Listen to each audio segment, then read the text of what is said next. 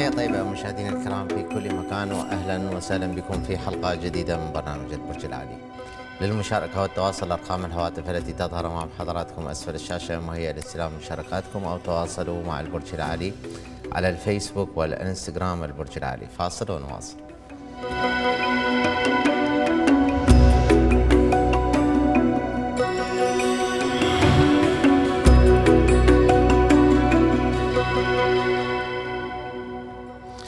ونبدأ مشاهدينا الكرام كالمعتاد مع القمر. يكون القمر في برج العذراء الترابي حتى الساعة الثامنة ودقيقة واحدة من صباح الاثنين. ليدخل بعد ذلك برج الميزان الهوائي ويظل فيه حتى الساعة الخامسة إلا دقيقة واحدة من مساء الأربعاء. ثم ينتقل إلى برج العقرب المائي ويمكث فيه حتى الساعة الرابعة وسبع دقائق من فجر السبت. ليدخل برج القوس الناري ويبقى فيه حتى الساعة الرابعة وثلاثة وثلاثين دقيقة من مساء الاثنين. هذه هي وضعية القمر في الأبراج. حاليا وحتى صباح الاثنين في برج العذراء الترابي. من صباح الاثنين وحتى مساء الأربعاء في برج الميزان الهوائي. من مساء الأربعاء وحتى فجر السبت في برج العقرب المائي. من فجر السبت وحتى مساء الاثنين من الأسبوع المقبل في برج القوس الناري. أثناء انتقال القمر من برج إلى آخر وعند عدم تشكيله زاوية معينة مع أحد الكواكب تتشكل فترة غير إيجابية لا تصلح المبادرة لأي خطوة جديدة ويجب علينا خلالها مواصلة حياتنا الاعتيادية كالمعتاد دون إدخال أي تغيير عليها فيما يلي هذه الفترة السلبية. يوم الاثنين من الساعة السادسة ودقيقتين اثنين صباحا وحتى الساعة الثامنة ودقيقة واحدة صباحا. يوم الأربعاء من الساعة الثالثة وسبع وعشرين دقيقة مساء وحتى الساعة الخامسة إلا دقيقة واحدة مساء. يوم الجمعة من الساعة الرابعة واثنين وأربعين دقيقة فجرا وحتى الساعة الرابعة وسبع دقائق من فجر يوم السبت. يوم الاثنين من الساعة الرابعة وعشر دقائق مساء وحتى الساعة الرابعة وثلاثة وثلاثين دقيقة مساء.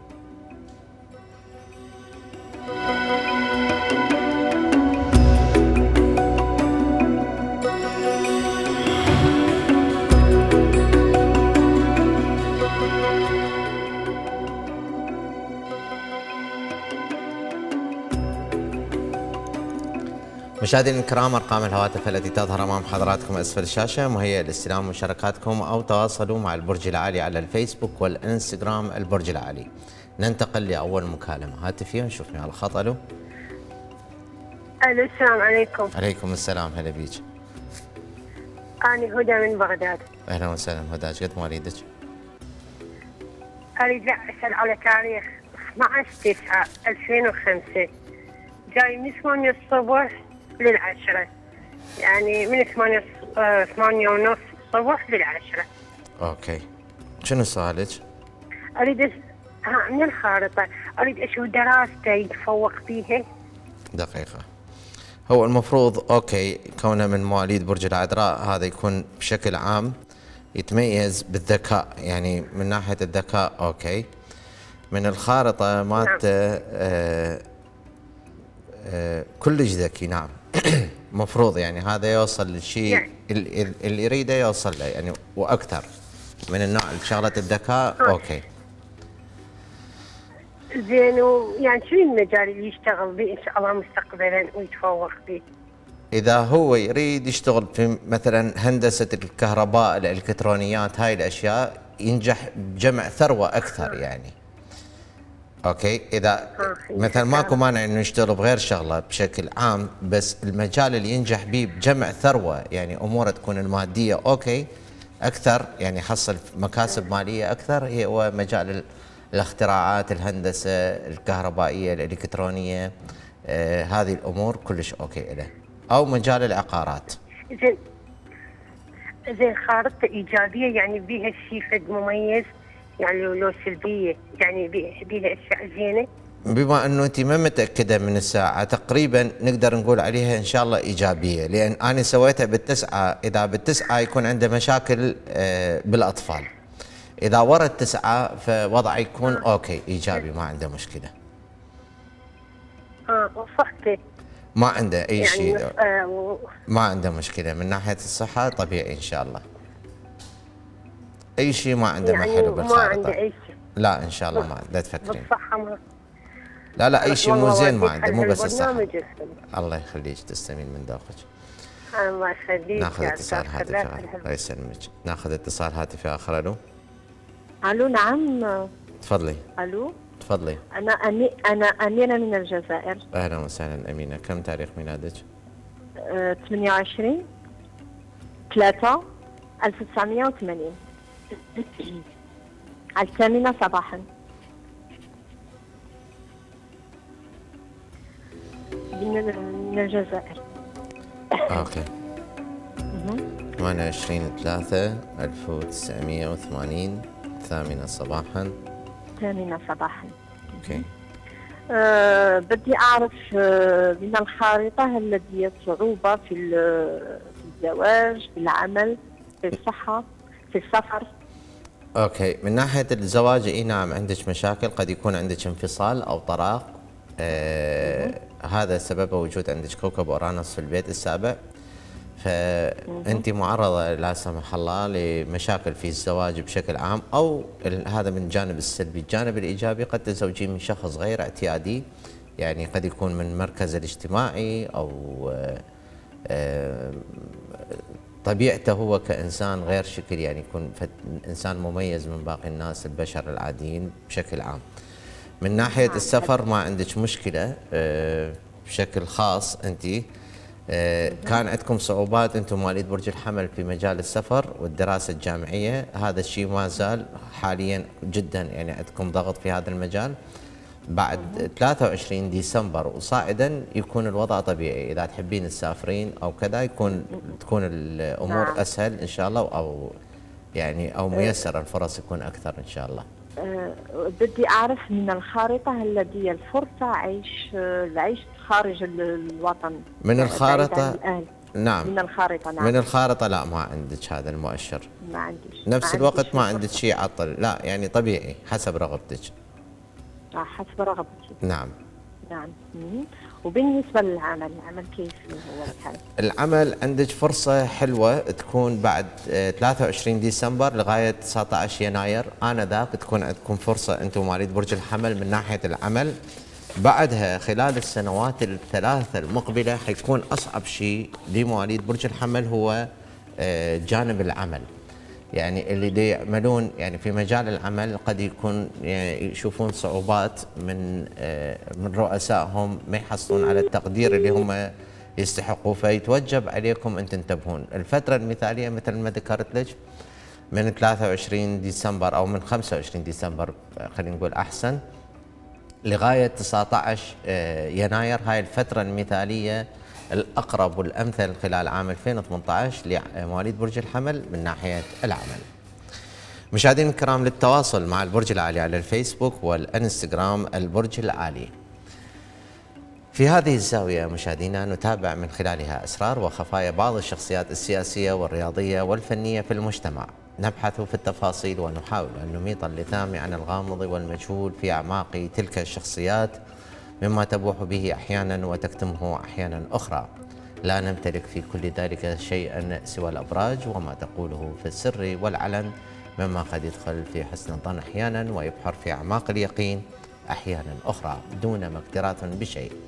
وفي كل هذا ليس لنا رأي المهم فقط هو كشف المستور من الغاطس في أعماق النفس الإنسانية لتلك الشخصية.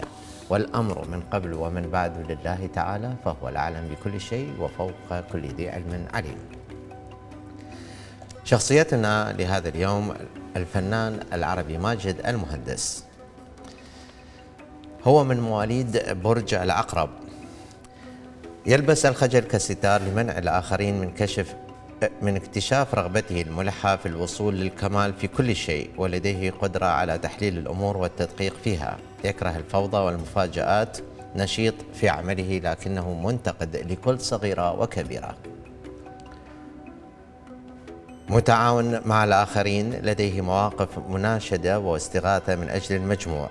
شديد الحساسية وإلى درجة معينة مراوغ ولحد ما غامض. صاحب مبدأ ومثالي حول موضوعي الحب والزواج لكنه مغلق المشاعر نحو الوالدين. قد يجد منافع خفية من الزواج أو أي شراكة أخرى. قوي العزيمة مع رغبة بالسلطة والتي غالبا ما يستخدمها للسيطرة على الآخرين. حساس ويحافظ على الأسرار بإمكانه إرضاء رغباته من خلال التصميم وقدرة التحمل على إكمال ما بدأ به وإنه من النوع الغامض.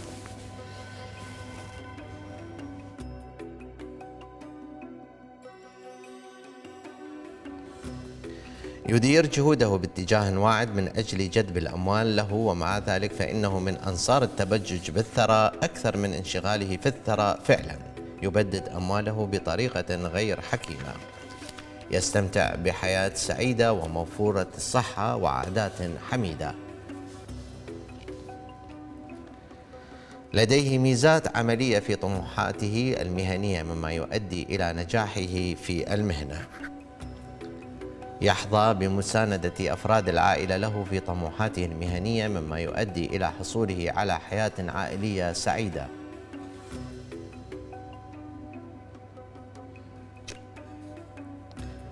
يأخذ الأمور على محمل الجد دائما بحيث يبدو للآخرين وكأنه شخص بارد جدا. يحاول أن يتخلص من خجله وشعوره بعدم الأمان من خلال وضع آمال طموحة أمام أنظاره والتي بعدها يبدأ بالعمل بجد واجتهاد من أجل تحقيقها.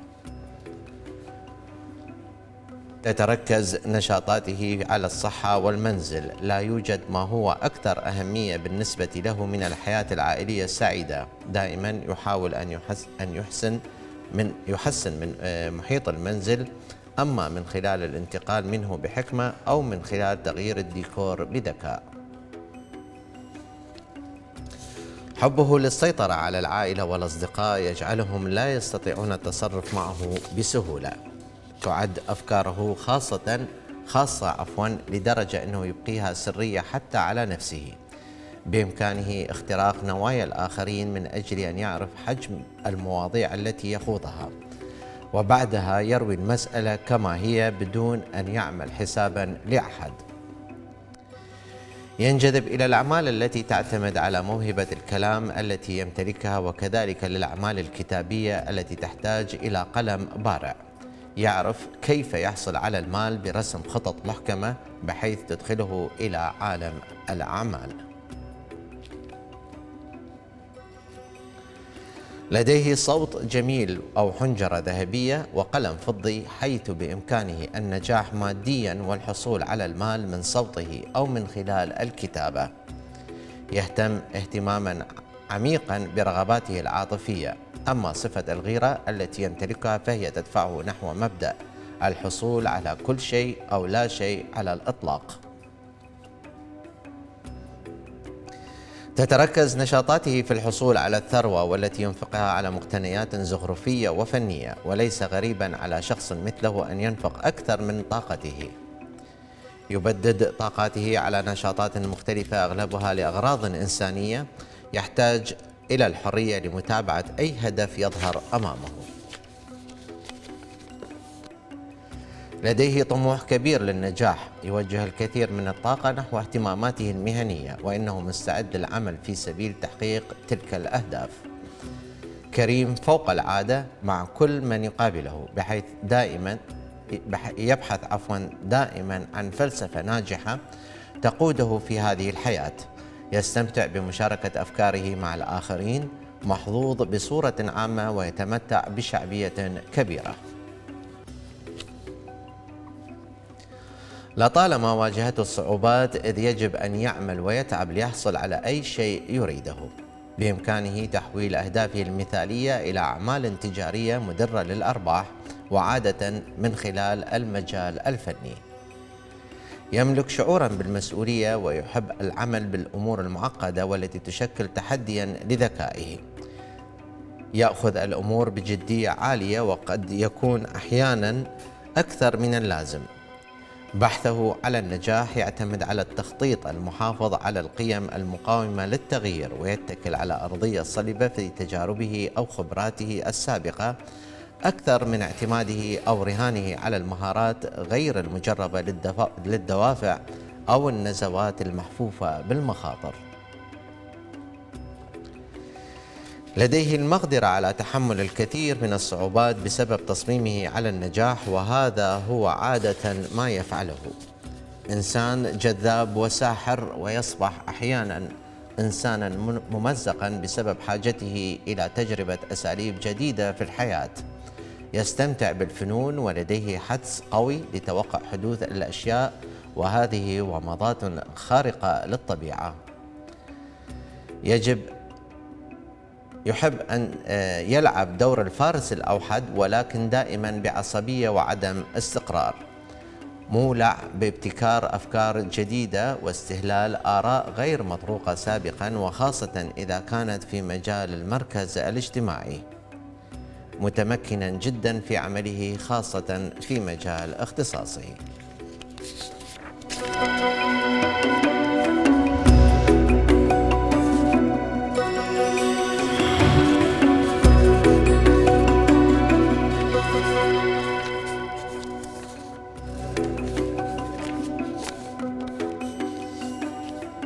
مشاهدينا الكرام التواصل مع البرج العالي على الفيسبوك والإنستغرام البرج العالي. وعودة للمكالمات الهاتفية. ألو. ألو السلام عليكم. عليكم السلام. معك عزاز لو سمحت آه، عن زوجي وعن عن العاطفة. بالخريطة. 2 1 1980 22 6 1979 الفجر. عن العاطفة. بسمعك من التلفزيون. سمعين يعني العاطفة قصدك العلاقة بين هذا التاريخين؟ إيه. آه. عن الزواج بصفة عامة قواك الله شكرا. هلا بيك 2 1 1980 و 22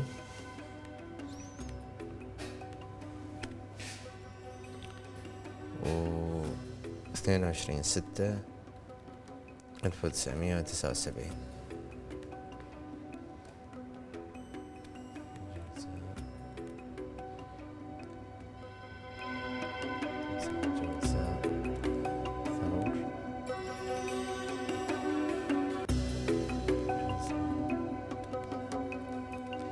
العلاقة جيدة جدا. إذا كانت الرغبة فعلا صادقة ومتبادلة بين الطرفين علاقة تعتبر تعد علاقة جيدة جدا أو فوق الجيدة جدا أقدر أقول عليها ممتازة من البرج ومن وضعية الكواكب لدى الطرفين. ناخذ اتصال هاتفي آخر. ألو؟ ألو نعم. ألو تفضل. مرحبا أستاذ. مرحبا أهلا وسهلا. آه، أستاذ أنا مواليد 1 4 1990 الساعة بيش؟ صبح الساعة 6 صبح تقريبا شنو سؤالك؟ أريد أعرف الحرب عن الهجرة واللجوء هذا الشهر شلونه وياه هذا الشهر مزين ورا نهاية الشهر يعني من نهاية الشهر العفو صاعدا يكون وضعك أحسن إن شاء الله بشكل خاص لأن أنتم أصعب شيء عندكم مجال الهجرة والسفر خلال السنوات الماضية فإن شاء الله من نهاية الشهر هذا وصاعدا يكون عندكم فرصة خاصة العشر أيام الأولى من بداية السنة الجديدة. وعموما 2018 كلها تكون أفضل لكم بوجه خاص في مجال الهجرة إن شاء الله.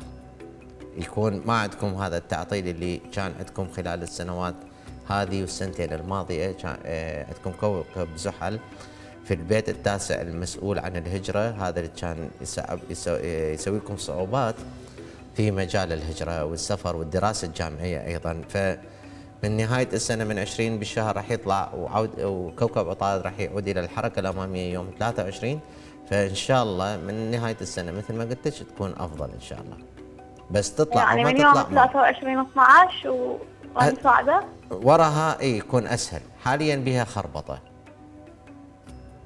أو أريد أعرف 2 3 1984 هم يعني نفس سؤالي ساعة بيش والله ما أعرف ساعة بيش زين. تقريبا عصر يمكن.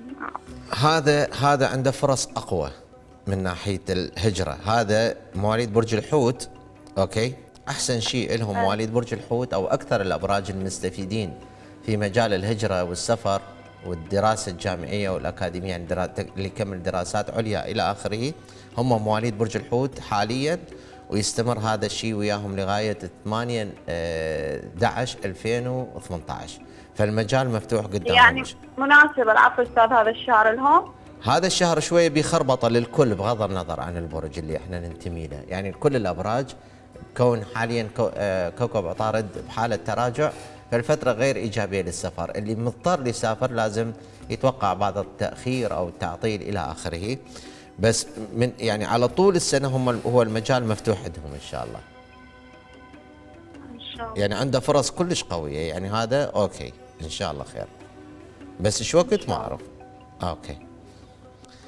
ناخذ اتصال هاتفي آخر ألو ألو نعم تفضلي أه أريد اسال عن برج أخي. كم تاريخ الميلاد؟ 4 12 1982 4 12 82 أي ساعة؟ أه ثانية والعشرين دقيقة ليلة ثانية وعشرين دقيقة ليلة والعشرين دقيقة. okay. بوين بأي بلد؟ أه من الجزائر. أوكي. لحظة واحدة. أريد أن أعرف الطابع. طيب.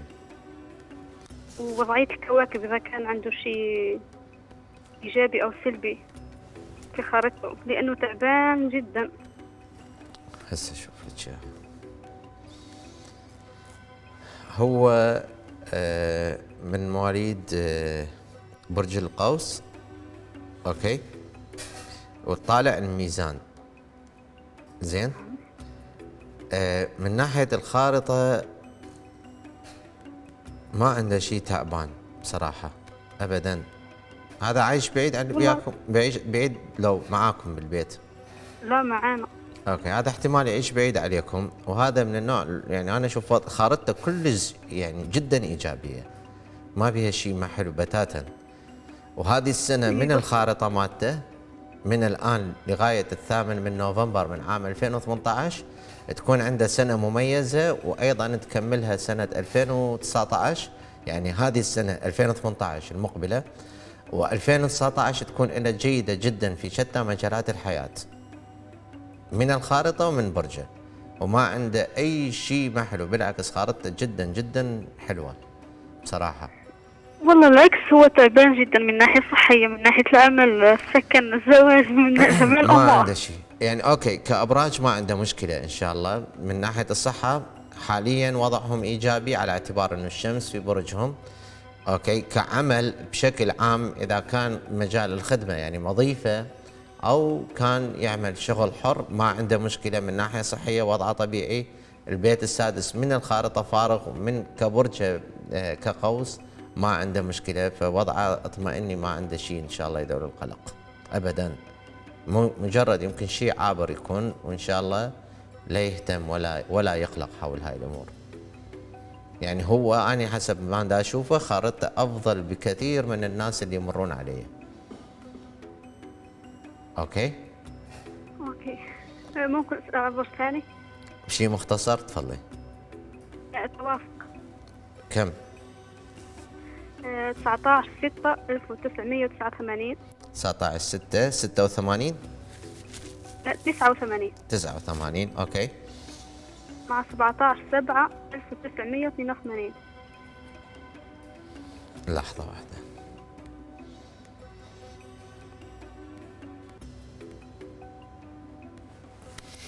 19 6 1989 17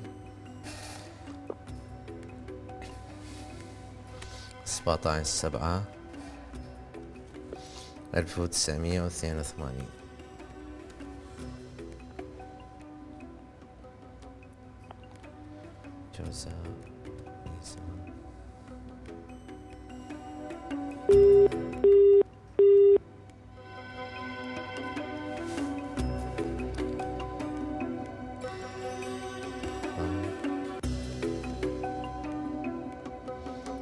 العلاقة جيدة إذا كانت الرغبة فعلا صادقة ومتبادلة آه، بين الطرفين وحصل زواج إن شاء الله.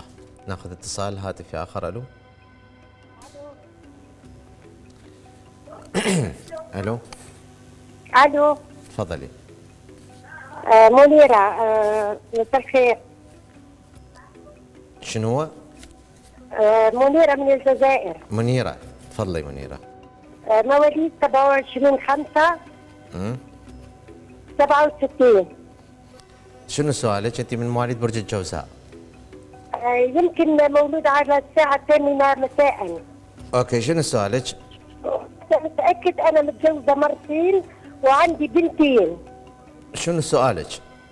إذا كانت هذه الساعة حقيقة أضلع الساعة 27 الثامنة مساء. 27 5 1967 ثامنة مساء.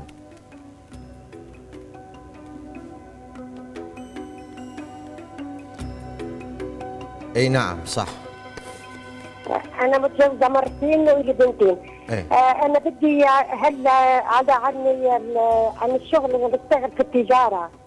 أوكي. الأموري أموري مح- مو مو زينة يعني آه، السنة هذه مو زينة. حاليا عندي حاليا الفترة حاليا غير إيجابية لكل مواليد الأبراج. هذه الفترة السلبية تستمر لغاية 23 ديسمبر. بعدها على طول السنة وضعك من ناحية التجارة يكون طبيعي. وعندك الفترة المثالية من 19 يناير لغاية 10 شباط فبراير.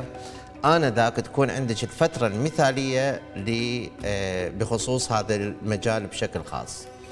وأكتفي بهذا الرد. وأشكرك. إذا مشاهدينا الكرام للتواصل مع البرج العالي على الفيسبوك والإنستغرام البرج العالي. نصل بكم الآن مشاهدينا إلى أبرز المجالات التي تشغل كل منا حسب برجه ونبدأ كالمعتاد مع مواليد برج الحمل.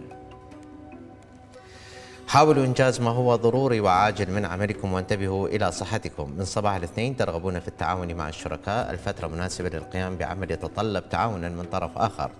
من مساء الأربعاء بيوسعكم إدخال تعديل على شؤونكم المالية المشتركة. من فجر السبت كونوا أكثر صبرا ووعيا على الطرقات خاصة أثناء قيادة السيارة في الشوارع المفتوحة. مواليد برج الثور ابحثوا عن قاسم مشترك يجمعكم بأحبائكم. من صباح الاثنين انتبهوا أكثر إلى صحتكم خاصة إن العمل سيتراكم لديكم. انتبهوا لواجباتكم الغذائية. من مساء الأربعاء ينصب اهتمامكم حول تعزيز شراكتكم. من فجر السبت تنهمكون في عادة تنظيم أموركم المالية ذات الصلة بالشراكة أدخلوا التعديل المطلوب على ميزانيتكم انتبهوا جيدا إلى صحتكم أو صحة قريب لكم. مواليد برج الجوزاء تنشغلون في تنظيم أموركم البيتية والعائلية. تجنبوا أي تغيير جذري على مسكنكم. من صباح الاثنين تزداد رغبتكم في التقرب من أحبائكم وقضاء وقت ممتع معهم. لا تبالغوا في تجربة حظكم. من مساء الأربعاء يتراكم العمل لديكم لكنكم تنجز تنجحون في إنجاز الكثير منه. انتبهوا إلى صحتكم. من فجر السبت ينصب اهتمامكم حول تدعيم شراكتكم. كونوا أكثر صبرا معهم لا سيما شريك العمر. مواليد برج السرطان تنشطون في سفر أو اتصال بعيد ومنكم من يخرج في رحلة أو عفوا في رحلة قصيرة. توقعوا بعض التعطيل. من يتقدم لامتحان أو مقابلة يجب أن يستعد جيدا. من صباح الاثنين تفضلون التركيز على مصالحكم البيتية والعائلية. من مساء الأربعاء ترغبون في تعزيز العلاقة مع الحبيب المنشود. الفترة مناسبة لممارسة نشاط فني أو أدبي. من فجر السبت انتبهوا جيدا إلى صحتكم. من يشعر بأعراض غير اعتيادية يجب أن يتوجه للفحص والعلاج. الأسد تنشغلون في ضبط ميزانيتكم. امتنعوا عن أي خطوة مالية جديدة مهمة كشراء حاجة ثمينة. من صباح الاثنين تكون لديكم عدة اتصالات أو سفريات قصيرة وتعامل مع أخ أو جار توقعوا بعض التأخير. من مساء الأربعاء تحتل الأمور البيتية والعائلية القسط الأكبر من تفكيركم. من فجر السبت ترغبون في التقرب من أحبائكم والبحث عن قاسم مشترك يجمعكم بهم. مواليد برج العذراء أنتم ممتلئون نشاطا وحيوية وقادرون على مواجهة مشاغلكم ومع ذلك لا تبادروا إلى عمل جديد بل واصلوا عملا شرعتم به من قبله من صباح الاثنين تتاح الفرصة لمكسب مالي يكون على الأغلب من عمل إضافي. من مساء الأربعاء تكثر لديكم الاتصالات والتنقلات ومنكم من يخرج في رحلة قصيرة. كونوا حذرين على الطرقات. من فجر السبت ينصب اهتمامكم حول ضبط مصالحكم البيتية والعقارية. تجنبوا القيام بأي خطوة في هذا المجال. مواليد برج الميزان تشعرون بتراجع في الصحة. اخلدوا إلى الراحة واضبطوا أعصابكم أثناء التعامل مع الغير. ابتداء من صباح الاثنين تستعيدون نشاطكم المفقود وتنجحون في السيطرة على زمام الأمور والدفع بمصالحكم. من مساء الأربعاء الفرصة متاحة للحصول على مال يدخل تحسينا على ميزانيتكم. من فجر السبت كونوا أكثر وعيا على الطرقات خاصة داخل المدن وابتعدوا عن أماكن مجهولة لكم. مواليد برج العقرب تنشطون اجتماعيا وتلتقون الأصدقاء. من صباح الاثنين تجتازون بصورة عامة فترة غير مريحة تنال من صحتكم وأعصابكم. انتبهوا إلى جدول غذائكم وخذوا قسطا كافيا من الراحة. ابتداء من مساء الأربعاء تكونون أكثر نشاطا وتنجحون في السيطرة على الوضع. من فجر السبت ادخلوا التعديل المطلوب على ميزانيتكم واحرصوا على مالكم من الضياع والسرقة.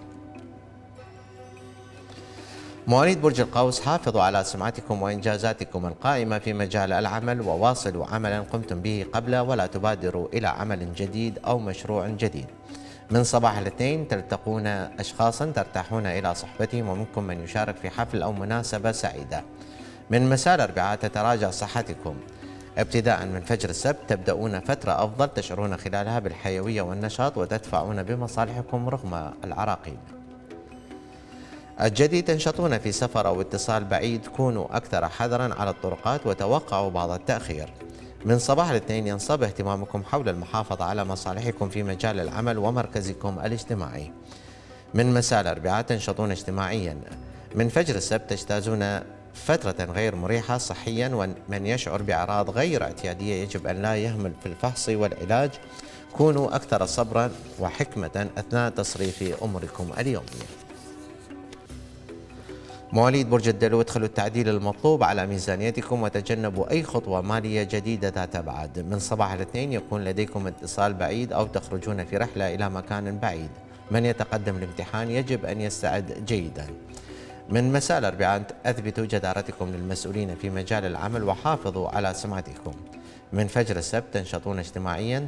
كونوا أكثر صبرا أثناء التعامل مع الأصدقاء ولا تعتمدوا كثيرا عليهم. أخيرا مواليد برج الحوت يتركز اهتمامكم حول البحث عن قاسم مشترك يجمعكم بالشركاء لا سيما شريك العاطفة. من صباح الاثنين تنشغلون في إدخال تعديل على شؤونكم المالية والفرصة متاحة لمكسب مالي له صلة بشراكة أو تعويض أو برنامج ادخار.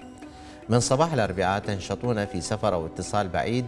كونوا أكثر حذرا في سفركم وتوقعوا بعض التأخير. من فجر السبت تنصب جهودكم نحو عملكم ومصالحكم الاجتماعية. انتبهوا إلى سمعتكم وعلاقتكم بالمسؤولين. لا تدفعوا بمصالحكم عنوة.